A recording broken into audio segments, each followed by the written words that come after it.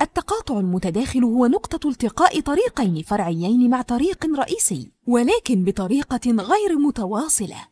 تعتبر التقاطعات أصعب من غيرها لأنها تتطلب منك تخطيط مسارك بشكل مختلف لكنها أكثر أمانا أحيانا لأنها تجبر السائق على تخفيف السرعة وتفقد المركبات القادمة قبل دخول الطريق الرئيسي.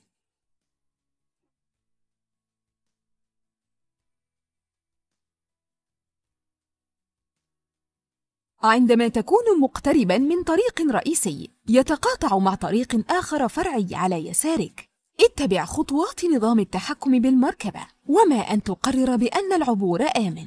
انعطف إلى اليسار مع البقاء على الجانب الأيمن من الطريق. تفقد المرايا وقم بالإشارة إلى اليمين لمغادرة الطريق بأمان عند التقاطع المقصود.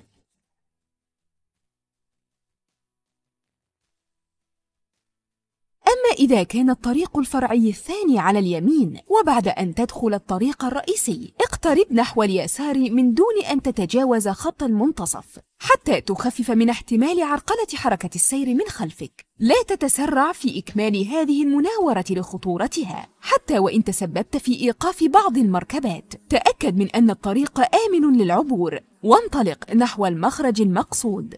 تذكر أن هذه العملية تعتبر مناورتين منفصلتين وتقع على السائق الجيد مسؤولية تحديد التصرف المناسب للتعامل معها بشكل آمن وبحسب ظروف الطريق.